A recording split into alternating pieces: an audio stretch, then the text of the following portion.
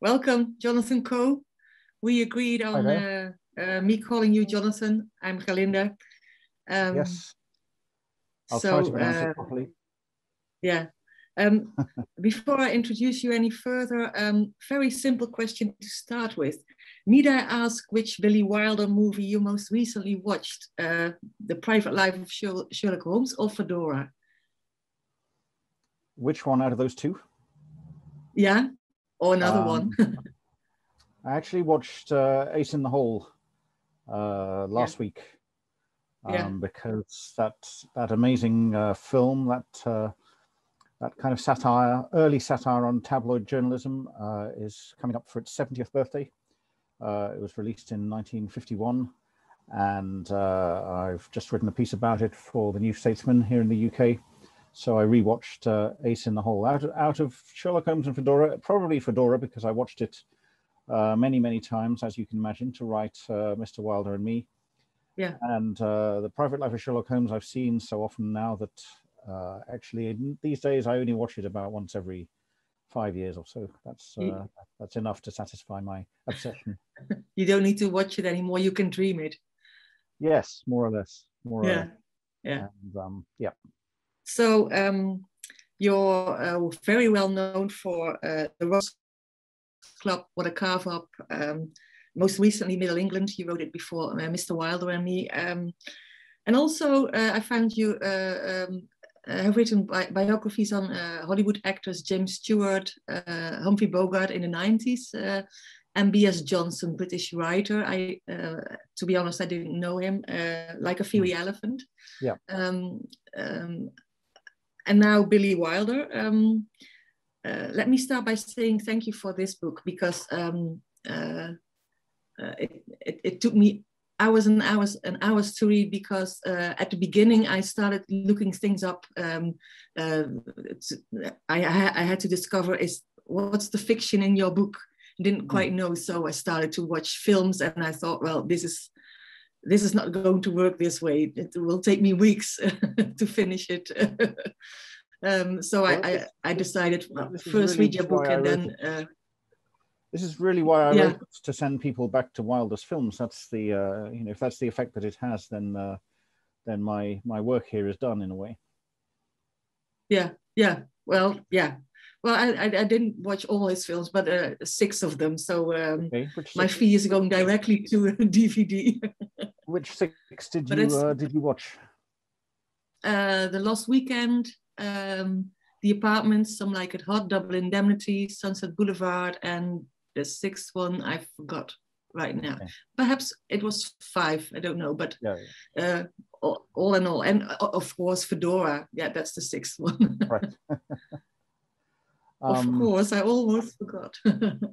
yeah, I mean, uh, as one might expect, you're naming uh, his most famous films, which tend to be his earlier films. I mean, the the apartment was a kind of turning point for Wilder because it was it was a high point in terms of his uh, achievement. You know, it was a huge critical success, a huge box office success, and he became the first individual to collect the three major Oscars uh, for for writing, direction, and and as the producer of the film.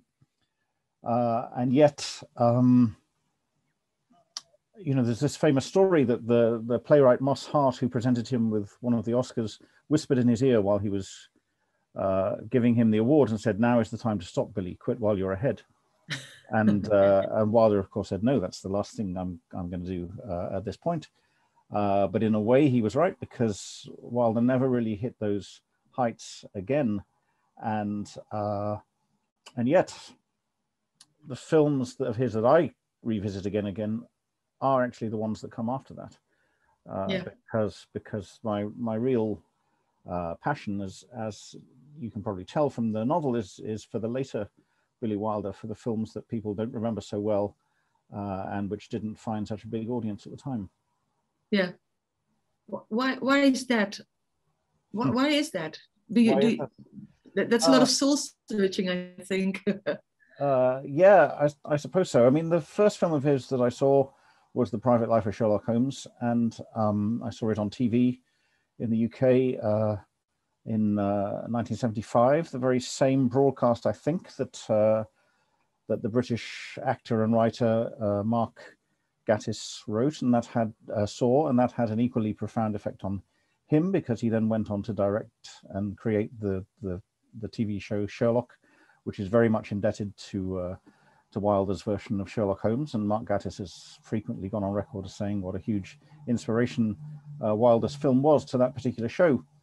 Um, but uh, you know, I, I, watched it because not because I was a Billy Wilder fan. I'd never heard of Billy Wilder, but because I was a Sherlock Holmes fan. And uh, reading the Sherlock Holmes stories with my grandfather was one of the great uh, pleasures of my life at that time. And uh, we watched it together, and my grandfather was very uh, dismissive of the film, a little bit angry. I think he he thought that Robert Stephens' performance was nothing like uh, his image of Sherlock Holmes. Obviously, nothing like the Basil Rathbone performance as Sherlock Holmes.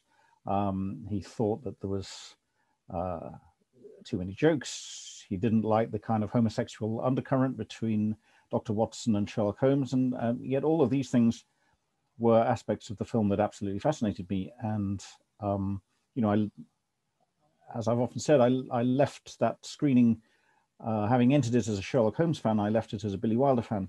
And, yeah. uh, and from then on, uh, for the rest of the 70s and early 80s, I tried to see as many of his films as I could, which was not fantastically easy at the time. You know, we, we forget in the current age where practically any classic film is available to us at the click of a button uh, that you, you know, you're only, unless you lived next to a good uh, art house cinema or repertory cinema, which I didn't, then um, you know your only option was to sit around and wait for these films to, to show up on television. So yeah, uh, you know, I, I, I saw maybe two or three Billy Wilder films a year if I, if I was lucky from that point on.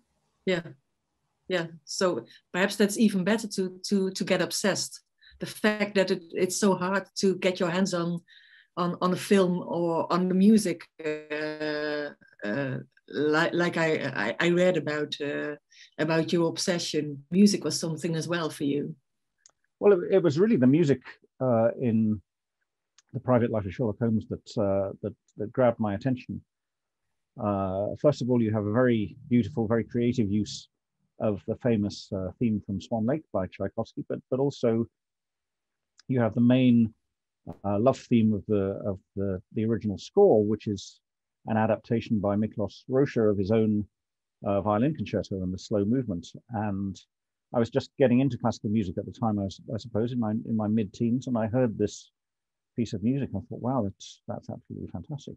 Uh, and you know, for after that first screening, I think it was another three years before I saw the film again, and I didn't really remember much about the the story or the dialogues, but I remembered the the score. I remembered the main theme, very, very uh, vividly and learned how to play it on the piano by ear and that kind of thing. Uh, so uh, the, the, the, musical element even then was, was extremely important. And that, in a way, is why I yeah. decided to make uh, Calista in the, in the novel my, my protagonist, uh, a film composer.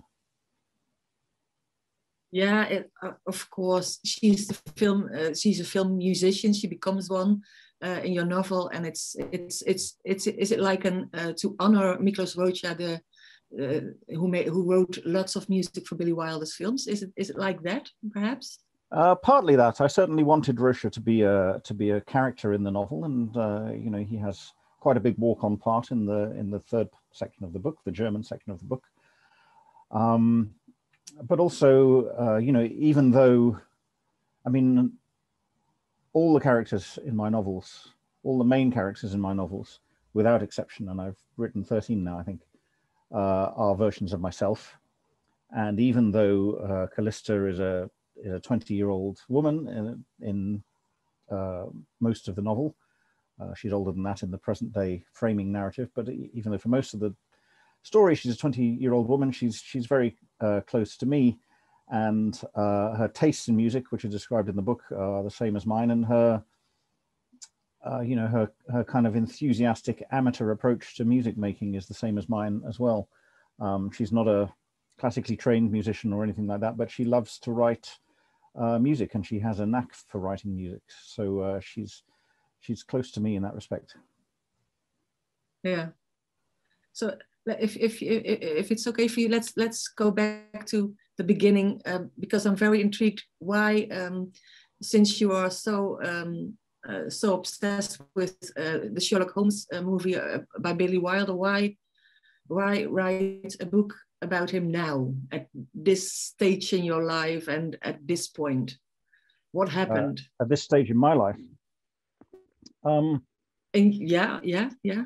Well, I've been uh, wanting to write a book about Billy Wilder for ever since the 70s, so for, for 40 years or so. And for about the last 10 years, I guess, I decided that it was going to be a novel and not uh, not an essay or not a biography. I mean, there are already lots of good books about Billy Wilder. Uh, I didn't uh, see that there was any need for another biography or, or even another book of essays about him or anything like that. Uh, and you mentioned earlier that I'd written uh, some time ago uh, a biography of a writer, a very little known writer called B.S. Johnson, experimental writer from Britain in the 1960s.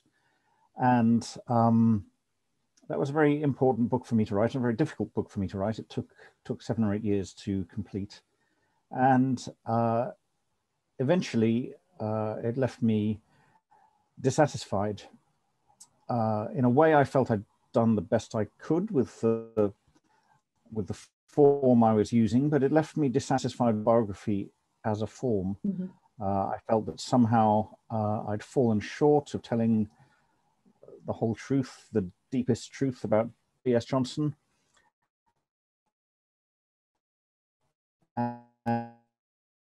And uh, instead would have been to write a novel about him. So I thought, well, the next time I write about someone who I'm kind of obsessed with and want to get to the bottom of, then I, I should do it as a novel and not not as a biography. Uh, and then really it was just a question of uh, waiting for the right. I thought about starting this book in 2015, five years ago, uh, but then Middle England kind of intervened. Brexit happened. Um, the characters from the Rotters' Club and the Closed Circle, who I revisit in that book, came popped back into my head and sort of demanded to be written about. So so I had to clear the decks and write that. And then uh, by the time I'd finished writing Middle England, which is a kind of a kind of big state of the nation, uh, where we are today kind of novel, uh, I just felt I was ready to do something completely different. Uh, I didn't want to write about politics. I didn't want to write about the situation in the UK or the situation in Europe. I didn't want to write about the pandemic. So uh, I thought, well, now now is the moment to write my Billy Wilder book uh, and kind of slide it in between, uh, you know, maybe my more typical projects. Yeah. So I, I find it really interesting. Um, you, you, you say um, uh, after, after writing the B.S. Johnson biography, there was something, what, what, what was it that you, that you thought uh, I rather had written a novel. What, what, what was it? Um, I mean, even in a novel, uh, a, a, kind of historical novel or a non-fiction novel, whatever you want to call Mr. Wilder and me, uh, then I feel you should stick to the historical facts as much as you can. And I, I don't think there's anything really, certainly nothing important in this book that couldn't have happened uh, to Billy Wilder or around Billy Wilder at the time I'm writing about, although there is, of course, a lot of invention. But I haven't played uh, fast and loose with the historical truth. I've, I've tried to stick to that as much as I can. So in a way, it's not so different from writing uh, biography. Mm -hmm. And uh, in the end, when I finished my book about B.S. Johnson, I decided to subtitle it "The Story of B.S. Johnson" because I, I, I felt that I wanted the best way for readers to understand it was as a piece of storytelling, not necessarily as a, a definitive or authorized or, uh, you know, the last word on B.S. Johnson, because I, I don't think such a thing is possible. Every, mm-hmm. uh, every approach you take to the figure that you're writing about is going to be extremely personal and extremely subjective. That's true here more than ever. This is my take on Billy Wilder and other people who know him, who love his films, who know more about him than I do, will have different takes and, and might take issue with some of the ways I've portrayed him in this book. But uh, I felt that I could do all of that more honestly and with more freedom, more imaginative freedom by fictionalizing him rather than uh, writing a straight non-fiction book. Yeah, so this then we have this, I think, very exciting combination of uh, biography and uh, and and Calista's story, which you you made up, but is uh, perhaps a little bit like yourself, mm. um, uh, because she's a, a, a musician. Um, um, I think I, I, mentioned exciting because um, um, uh, while reading, I was constantly thinking, what's a fact, what's not. Well, I, I will never know. Uh, I guess um, that's that's that's the fun part of, in it. Um, but it's about it's about Fedora as the centerpiece, the penultimate uh, uh film by Billy Wilder. Why not? And then we stopped talking about Sherlock Holmes. Mm. But wh why Fedora? why not your obsession? Um, well, uh, there is, I mean, pe people find it hard to believe me when I tell them this, but there is already a novel about the making of, of the private life of Sherlock Holmes, uh, a British novel by Patrick Kincaid called The Continuity Girl, okay. which is set against the backdrop of the shooting of, uh, of the film in Scotland. And uh, I know Patrick a little bit and, and, didn't want to tread on his toes and also felt that, uh, you know, one novel about the making of this film was, was probably enough. Uh, so that was one, that was one reason. Um, but also, you know, there is a there is a story to be told around the making of the Private Life of Sherlock Holmes. It was a huge budget film for its time. Uh, I read I read an essay about Wilder recently, which which said that, you know, in in a way you can think of it as his Heaven's Gate because he he splashed money on this film, built the most incredible sets, took the most incredible uh, care over it, shot it, spent a year on the shooting, and uh, and then it flopped uh, terribly. The, the, the producers didn't like it when they saw it. They made him cut it down first by half an hour, then by a full hour. So it came down from a three-hour film to a two-hour film. Uh, those deleted scenes in their original form are now lost and will never, I don't think, be found again. Um, so I could have told that story. But then whenever I read biographies of Wilder and interviews with Wilder, I'm I'm more drawn, even though I, even though I prefer Sherlock Holmes to Fedora as a film, I'm more drawn to the story around the making of Fedora because uh, it's it's the film that brought Wilder back to Europe uh, and which uh, made him realize kind of unambiguously that his time as the king of Hollywood was over because the film uh, couldn't get finance from a from a Hollywood studio, and that was a you know for someone who picked up those three Oscars 15 years earlier, that was a that was a big humiliation and a big uh, wake up call, really. And I wanted to write about that moment, what what that moment meant to Wilder personally, uh, what it told us about uh, the film culture of the 1970s and how that was changing, and what it would be like for Wilder, this quintessential European, born in uh, born in Poland, brought up in Vienna and Berlin and Paris, to come back to those places uh, kind of with his tail between his legs, really. Uh, yeah. not, not, not, not of his own, not really of his own volition, but still feeling very much uh, at home as a quintessential European filmmaker, which is how I now yeah. think of him. Yeah, yeah, a kind of almost over the hill director, which must have been very painful uh, for him to to witness, right? Uh, uh like you uh, mentioned. Yeah, ter- terribly painful, and yeah. Uh, you know we will we'll all get there eventually. I mean, it's it's it happens to the, the book business is not quite as brutal as the film business or the music business, but it does uh, does catch up with us all. I'm I'm turning 60 in a couple of months. Wilder was 70 when he made Fedora. So uh, you know what what happened to him is always a kind of a bit of a a bit of a shadow looming on my horizon as well. So that's why you decided I write it now. yeah, yeah. Confront the demon. Yeah. yeah, to be ahead of it. so Fedora is um, um, it's a story about an actress uh, in the same place as Billy Wilder, in a, in a, in a way, also over the hill. Um, yeah. Uh, it's the, the, the it's in it's also that that's intriguing because it's it doubles uh, his story and um, do, do you think that's what drew, drew drew him to to this book to to to make a film out of it well i assume so i mean it's it's it's hard to see what would have drawn him to it otherwise really because uh, you know i've read the novella that the film is based on and uh, it's very problematic material for a film narrative because it has this big reveal uh, which which turns everything you think about the story on its head. Yeah. And uh, you know, how do you how do you plant that in a three act screenplay? Well, well, Wilder and Bill and I.L. Diamond planted about just over halfway through the film. So so for the first hour of the film, you think you're watching one story, and then yeah. you're plunged into a series of uh, flashbacks, and the and the yeah. film changes its nature completely. Yeah. And uh, I don't think we we, we have to um, uh, we don't I don't think we have to tell no. the audience what, what, the book's about, right? No, no, no, we don't. And let's not. Uh, and I, I, think I've managed to write a whole novel about the making of the film without without giving away the the twists. So uh, I think even after even after reading Mr. Wilder and Me, you can you can still see Fedora with kind of uh, innocent eyes, but. Um, it, it does make it a very awkward film uh, narratively, and I think the first half of the of the movie works much better than the than the second half. Um, mm-hmm. And but also tonally, it's it's something strange about it.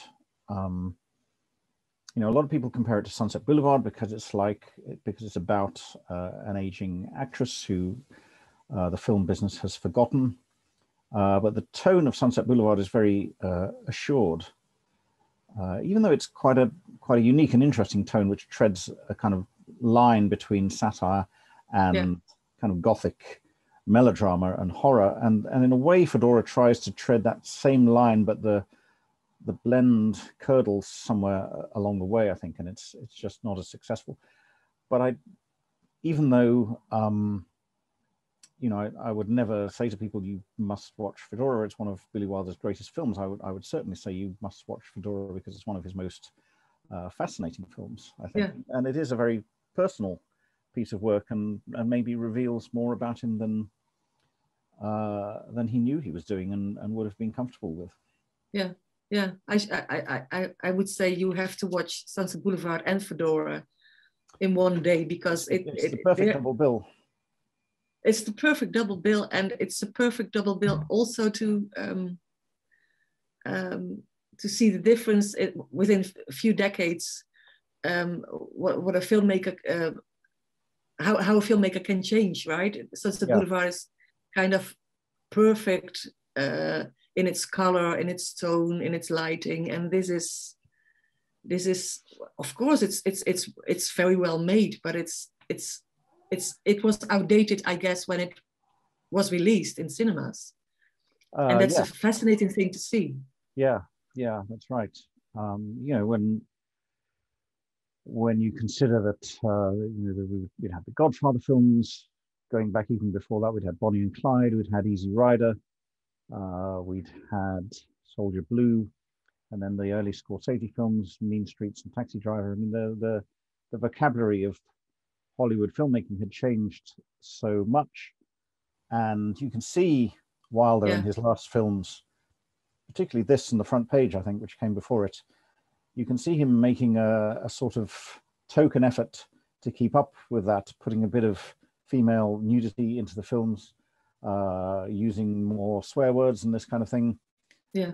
And yet, you know, that that's just pure cosmetics. Uh, essentially the aesthetic has not changed at all since the since the 40s and 50s when he you know was was at the height of his powers as a as a classical filmmaker and uh, yeah it, it it it sits very uneasily in the in the era of uh, of those more more adventurous movies yeah yeah yeah compare compared as you say to the to the other new films of the new directors with beards as you write in your book the kids with beards which is not my phrase that was uh, wilder's uh, co-writers phrase, I.L. Diamond. And maybe we should talk a little bit about I.L. Diamond because he is the third main character.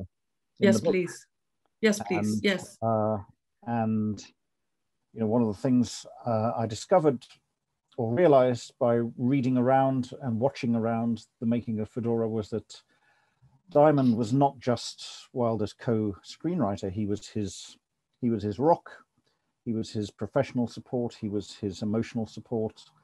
Uh, they saw each other every day. They sat together in their office in LA every day for seven or eight hours at a time. You know, they they literally knew each other better than they knew their own wives, I think, and, yeah. and in a way had a closer bond than they did with with their own wives.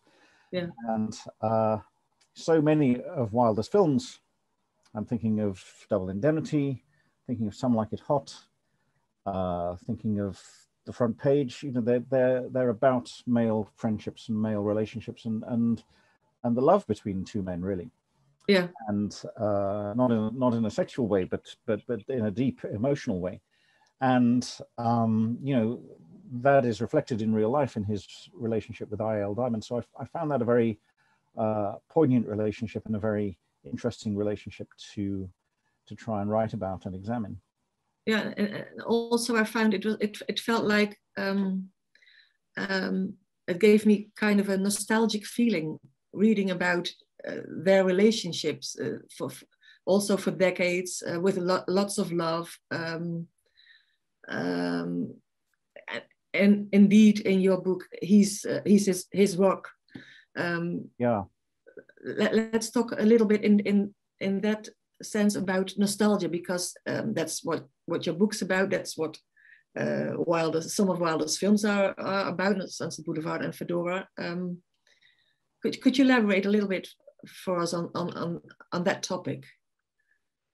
Uh, well, I, you know, I, I suppose both Sunset Boulevard and Fedora are classic narratives about the danger of allowing yourself to be trapped in the past and and just not to move with the times whether whether you end up like uh, like Norma Desmond marooned in your mansion on Sunset Boulevard never seeing the daylight or uh, equally you end up uh, like Fedora marooned on her Greek island and and uh, never able to get out and uh, both of them are prisoners of their past there's a very beautiful song by the, the band Prefab Sprout called Prisoner of the Past. And I always think of that song when I think about Sunset Boulevard uh, and Fedora.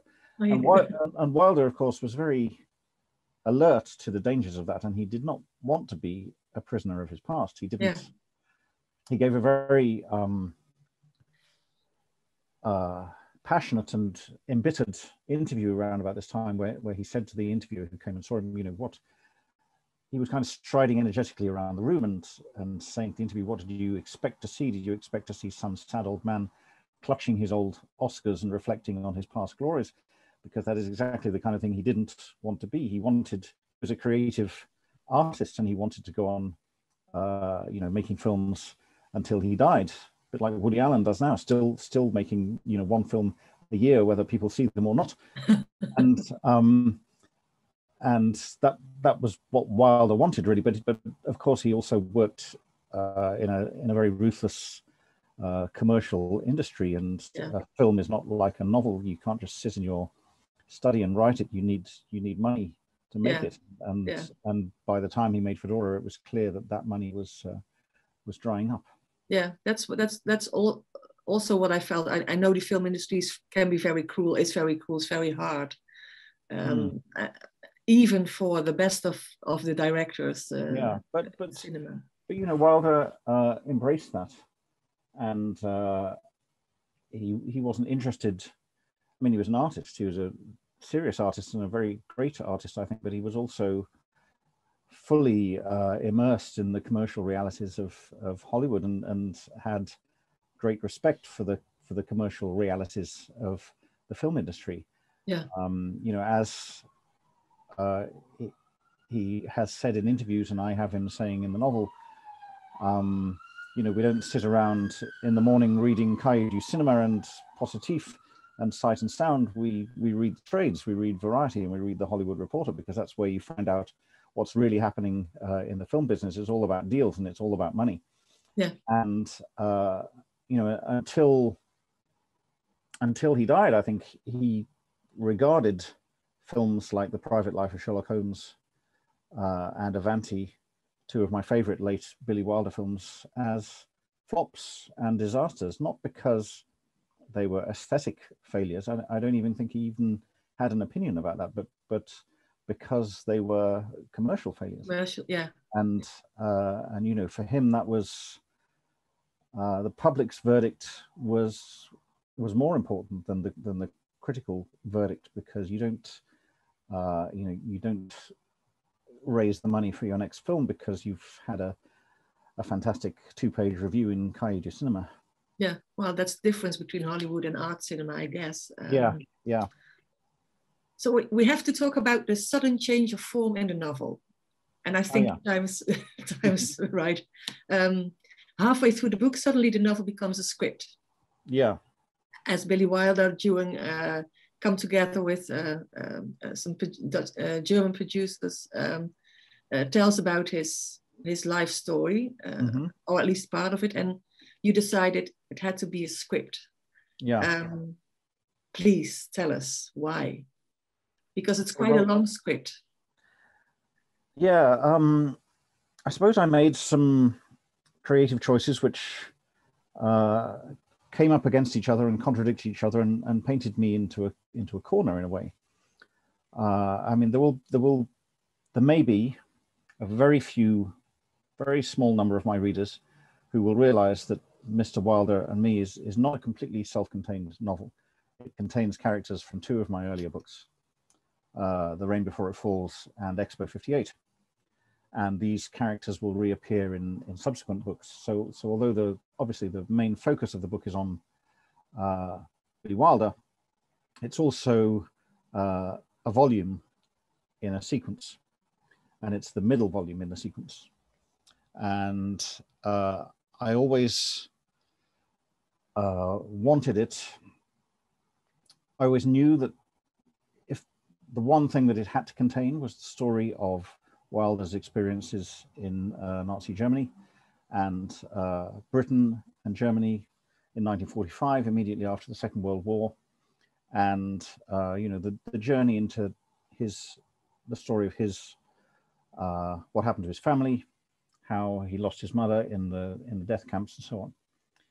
Uh, so whatever else, even before I knew it was going to be a book about the making of Fedora, I knew that that was going to be the heart of the book, the kind of dark heart of the book.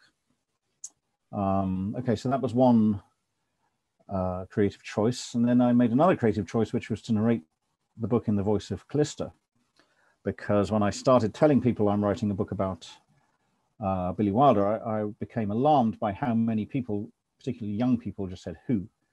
And you know, I realized that uh, okay, I'm a man in his late fifties who loves movies. Of course, I know who Billy Wilder is, but a lot of uh, younger people, a lot of people who are not so interested in films, uh, they know his name vague, vaguely, maybe, but they don't necessarily know who he is or much about him. So I thought, right, I'm going to have to use a narrator who can take these readers by the hand and kind of guide them through. So I wanted a narrator like Calista, who knows nothing about Wilder when she meets him.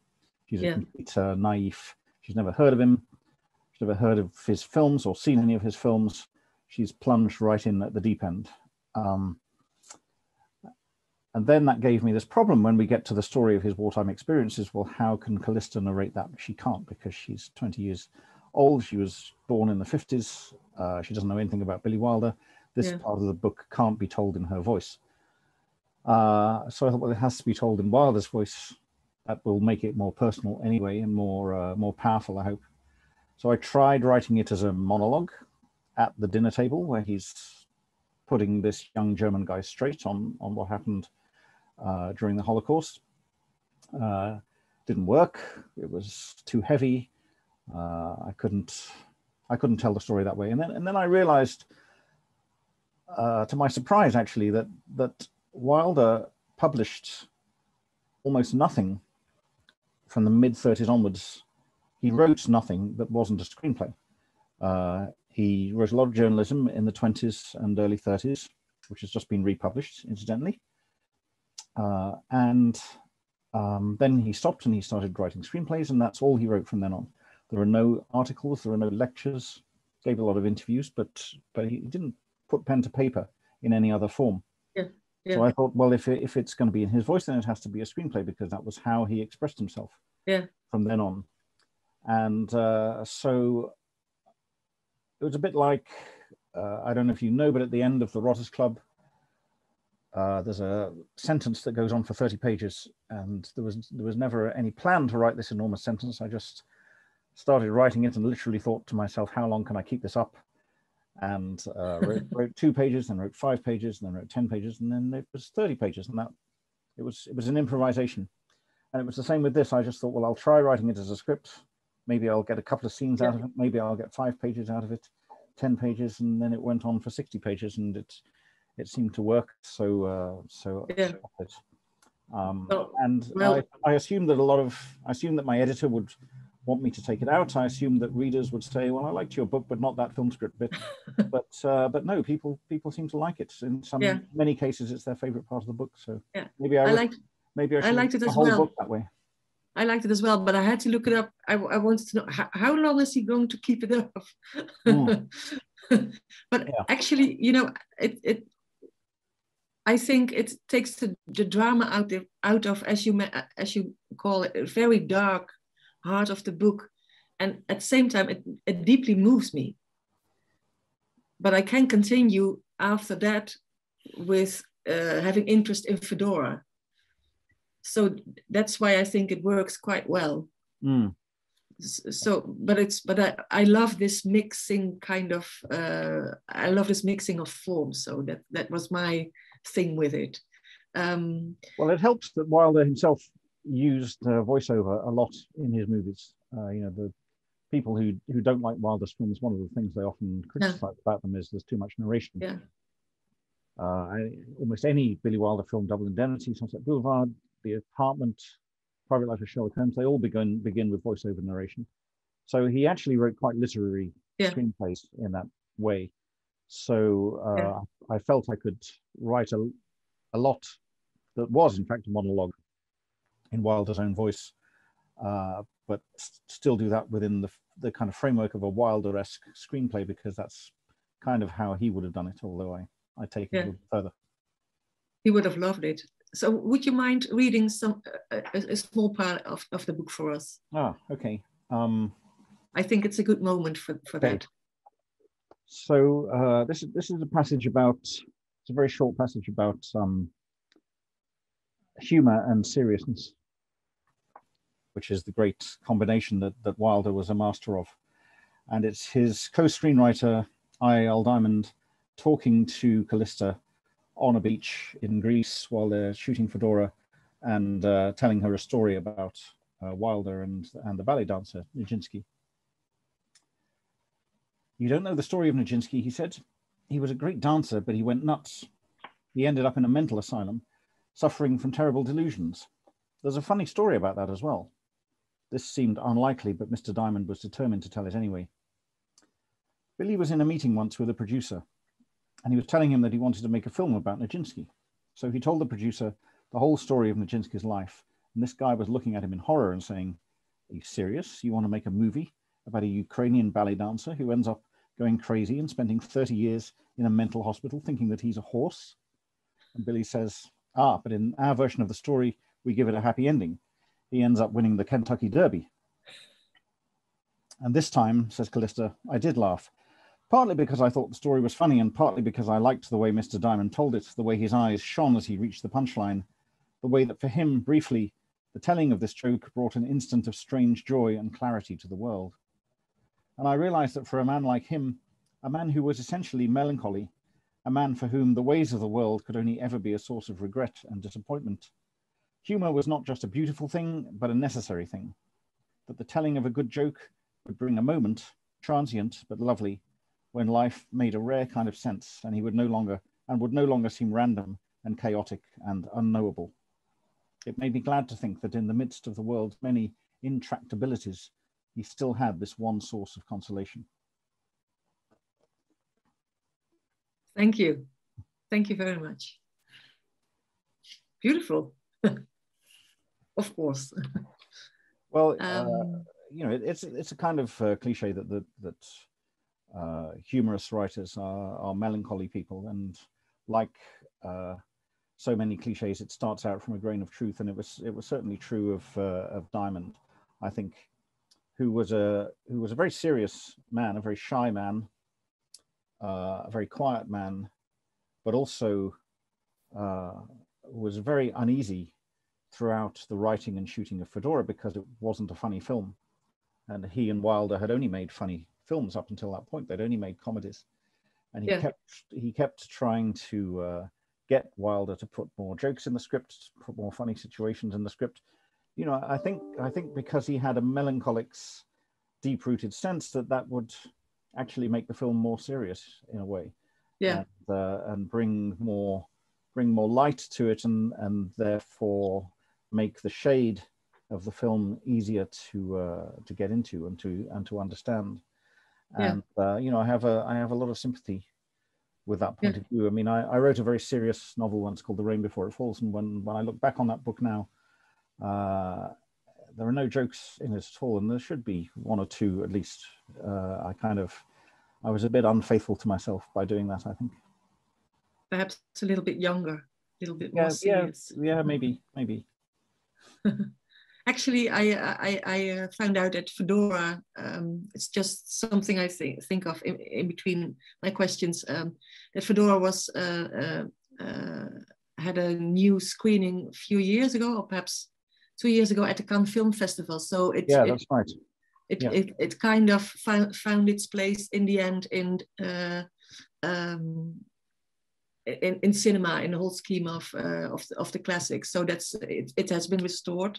I think it, uh, I think it is being rehabilitated a bit. I mean, yeah. uh, ten years ago, it was actually very hard to get a copy. I, I, bought my copy from on DVD from Spain, and it had Spanish subtitles, which you had to turn off. The print wasn't very, wasn't very good. Yeah. Uh, and uh, now there's you know there are there are DVDs, there are Blu-rays. It's been restored. It, it pops up at festivals. Yeah. And again, I think I think people are beginning to realize that it's uh, a very interesting film, and and I'm amazed by the number of people who know about Wilder who don't actually know that it exists at all, and yeah. uh, and are astonished when you tell them about it. Yeah. Well, I didn't know of it as well, and I think also young people don't have the feeling of the film being outdated because they they they don't know quite well what a film of 1978 ha has to look like. It, it, yeah. it isn't that important anymore. Yeah, yeah, that's right.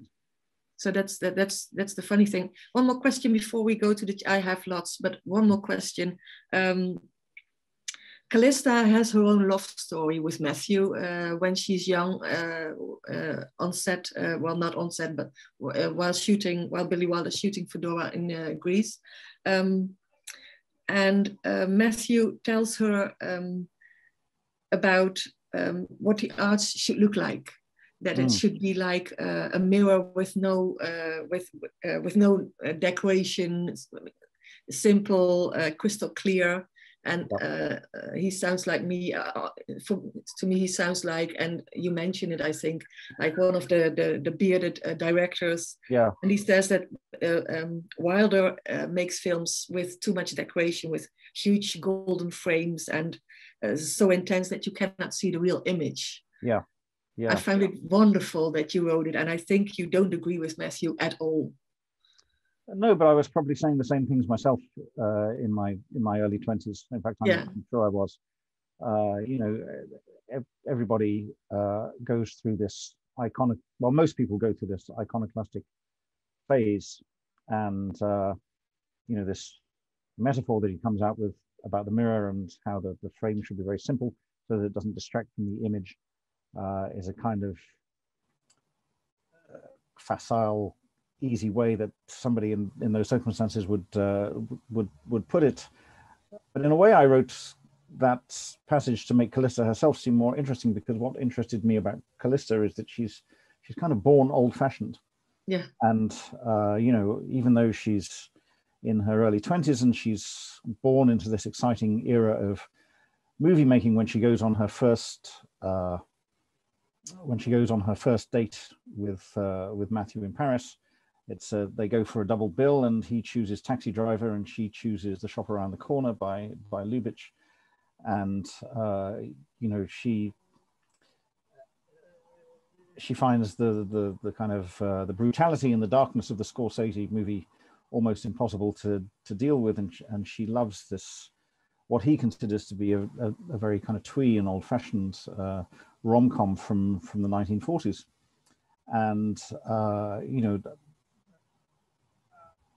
I I kind of like her for that reason because I I find it interesting that she's uh, she has such old-fashioned tastes so young, and of course it's it's why she and, and Billy Wilder in the end uh, get on so well because uh, you know even though he's 70 and she's 20 uh, yeah. they're they're they're in a strange kind of way they're from the same era. They have they have the same they have the same filmic tastes at least. Yeah.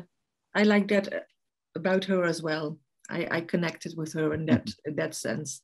You know when you you can be old fashioned when you're young but when you're uh, in your 50s I, I, I, notice uh, I, I, me myself, I'm starting to tell people, well, I, I thought of that when I was 20 as well. It's not, hmm. it's not only your, your age. So, so I think that's, yeah. that's the thing about Calista. Yeah. Yeah. Um, I think we have to go, well, we don't have to, but uh, I noticed some remarks in the chat and we have some questions, but um, one one uh, which popped up uh, just now was uh, less isn't always more when we talked about Matthew's remark. Uh, would you mind uh, saying something about that? Um, less isn't always more. Um, well, I, I guess uh, you know that would that would be uh Wilder's rejoinder to to to Matthew's uh criticism if if if he ever heard it. Yeah.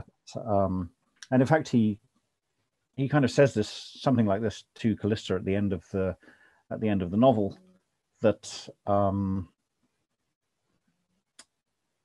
you know you have to you can look beyond the what might seem to be the old-fashioned conventions of uh, of classical filmmaking uh, and see the kind of the kind of pain and the kind of depth of experience actually that lies behind uh, a film uh, like The Shop Around the Corner. I mean, mm-hmm. yes, it is a it is a kind of delicate, bittersweet, romantic comedy, but it's it's it also has a suicide attempt in it, and it's a it's a it's a story about a you know. a man who has reached the end of his tether, and it's also a story about a group of characters who are struggling to make ends meet in difficult economic circumstances, but but Lubitsch doesn't push that at you. Um, there's, mm-hmm. there's a lot of other lighter, more delightful things to enjoy in the film, and uh, you know, in that same passage, Wilder tells one of uh, my favorite stories, which I, I read in an interview of his about this this German businessman who's had a terrible day at the office and comes home and uh, he, he, has faces a huge tax bill. Um, his daughter is pregnant. His his son is in trouble with the police. His wife has left him. Everything in his life is going ter- terribly. And then his neighbor comes around and say, "Let's go around. Let's go to the cinema. I hear they're showing Despair by Rainer Werner Fassbinder." And um, you know, Wilder um, Wilder knows that uh, what a it's not enough for a film just to throw the the ugliness and the darkness of the world in your face. You have to show a, a, bigger picture than that. Partly, partly because it's you have a duty to entertain the audience, but also because you make more truthful films that way. Mm-hmm. Yeah. Um, one let's let's do another question. Let's let's do the first question. Uh, okay. Um, how long did it take you to write your first draft? Um, the truth is, I don't really. Different writers work in different ways. I don't really do drafts. I revive. I revise very carefully as I go along. Uh, yeah. So I so I write quite slowly, particularly to start with but I I'm temperamentally incapable of starting a novel until I've got the whole thing in my head anyway. So I, so I know how it will end. I know what the stages on the journey will be on the way there.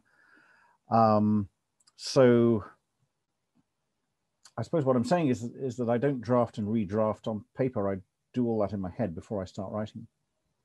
And then what I what yeah. what gets published is is very close to the to the first draft. I mean, each scene will have been written and rewritten and rewritten four or five times, but there's no there are no files on my computer saying Mr. Wilder and me first draft, second draft, third draft, and so on. Okay. It's, a, it's, a, continuous process.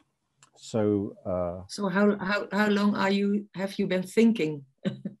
well, I've been thinking about this book for years. Uh, probably yeah, longer, yeah. probably longer than I've ever uh, contemplated a book and, and, turned it over in my head before. So the the writing of it uh, was fairly quick by my standards.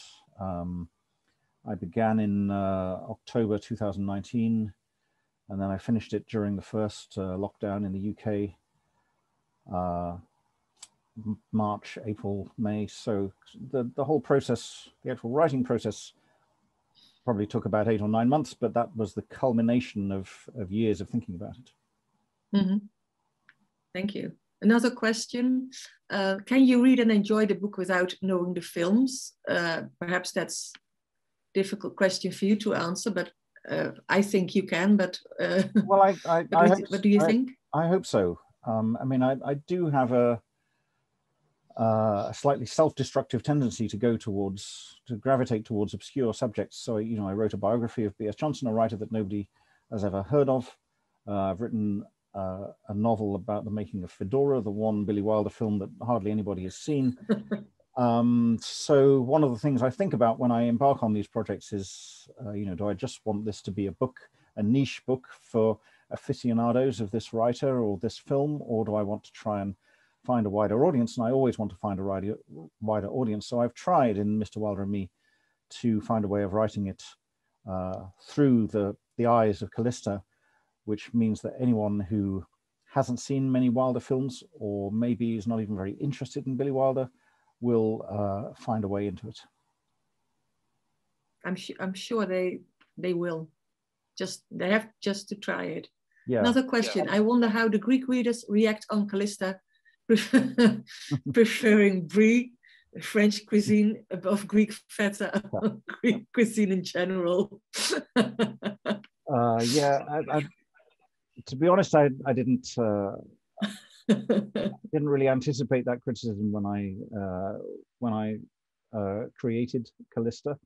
I always knew there was going to be this big uh, scene at the end of the book where Mr. Wilder and Calista ate brie together because uh, it didn't happen with her, obviously, because she's fictional, but he did arrive late on set for the shooting of the final scene of the film because he detoured to these farms in the uh, in the Meaux area outside Paris to taste the wonderful cheese that they produce there. And the uh, the the associate producer of the film who tells this, the story of that evening very beautifully in Robert Fischer's uh, documentary about the making of Fedora. Um, it, it really made it sound to me like a beautiful story. So I, so I, so I had to do that. I mean, I'm not I'm not to be truthful, wild about brie myself. I like I like brie, but it but it but it had to be that cheese because that was the that was the true story. Uh, yeah.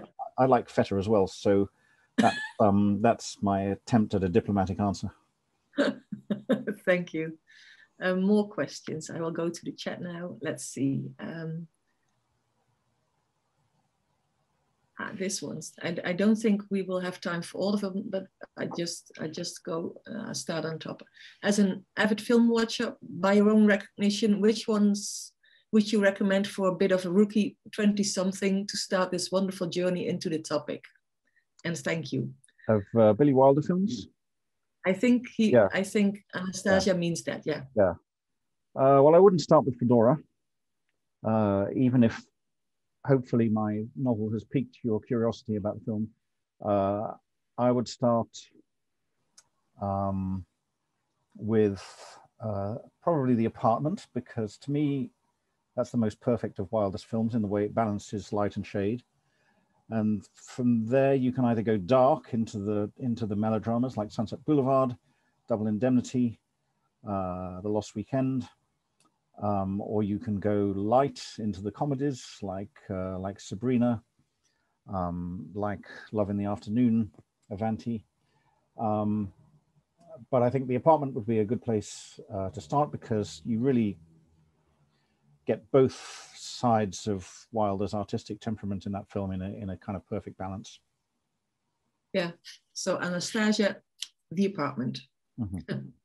um, Carla asks you, did you have the voice, oh, the voice over narration of the films in mind while writing the beginning of the book? Um, not really. I, I can see uh, I can see what's meant by that question, but the the I had a very uh, specific and very strong visual image in mind, which is uh, unusual for me because my books don't usually start from visual ideas. Uh, maybe that is a function of the fact that I was writing a book about movies, but um, I had a very strong image in my mind of Calista riding up this long escalator at uh, Green Park Station in Piccadilly in central London. Uh, the movement of the escalator, her coming up behind this mother and her little child and the, the hop, skip, and the jump of the child as she comes off the escalator. That that was the beginning of the films of the of the of the novel for me. So um, even though, uh, yeah, it's told in Calista's voice, and I can see in a way how it does have the feel of a movie voiceover. Uh, that wasn't the intention. It was it, it was uh, it was it was a it was a very meant to be a very visual moment. Yeah, it is with the red jacket of uh, Don't Look Now in it. Yes. yeah. Immediately, I know what, what kind of uh, book it will be with film mm-hmm. references. Yeah, yeah. Um, this is an interesting one of uh, by Sam. Uh, what would you think of a film adaptation of Mr. Wilder and Me? Um, well, I hope there's going to be one. We're certainly in uh, in negotiations to uh, to have a film adaptation made. As you know, there's many a slip uh, between the idea and the and the shoot, so it could all go pear shaped. But uh, but hopefully there will be uh, a film adaptation. Um, I'd love to see it. Uh, I mean, I not that many of my books have been adapted. There was a there was a BBC TV series of The Rotters' Club, and there was um, a French movie of the terrible privacy of Maxwell Sim. And uh, you know, I, I, love it when this happens because you get to see somebody else's uh, take on your material, and you get to see mm-hmm. what somebody else does with it. Would you, would you want to be invo- very much involved in it, no, or no, no? I'd rather just uh, you know turn up at the turn up at the first screening and and and see yeah. see what people have made of it and, and be surprised. Yeah. Um, but uh, I do think Billy Wilder himself is a wonderful role for uh, for an actor. So um, I wouldn't I wouldn't like to pitch him with any casting suggestions, but I think that would be a great opportunity for someone. Anthony yeah. Hopkins, maybe. Gary Oldman. Yeah, yeah, that would also be good. But they'd have to be Let's able to do a good Austrian accent. That's very important. Yeah. Because Wilder yeah. never never lost his very strong uh, Austrian. Yeah, accent. yeah, that's true. I would go for Gary Oldman. okay, yeah, yeah, I'm happy with that. uh, let's see. Um, for me, watching uh, uh, Richard says, or Richard, for me, watching the movie after having read the book, I appreciated the book even more because of the way it echoes the movie. So there's a compliment for you. Uh, yeah, nice compliment. Um, I mean, thinking about it, and I hadn't thought about this before, but uh, you know, once you've written 12 or, or 13 novels as I have, you can never really do anything new again.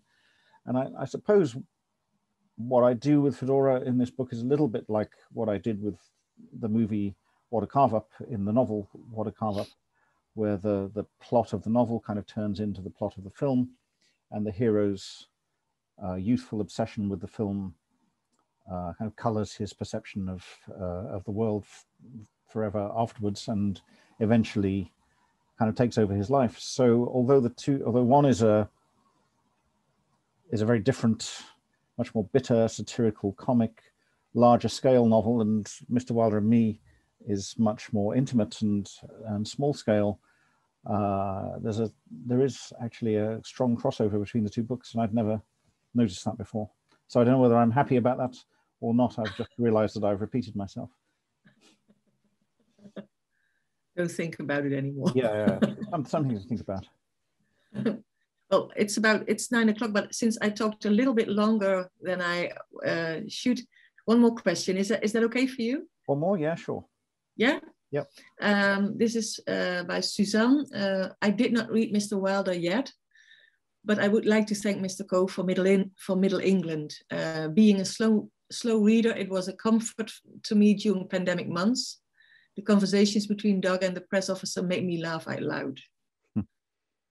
Uh, yeah, I enjoyed writing those conversations. They were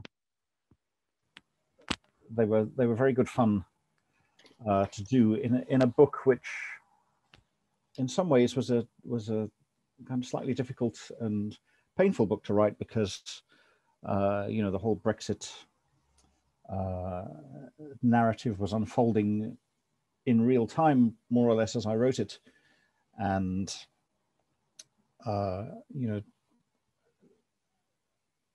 things in my country were going in a, in a direction which I, which I didn't think were particularly healthy or desirable, and I, I still don't think that. So it, it was uh, a difficult book to write in lots of ways.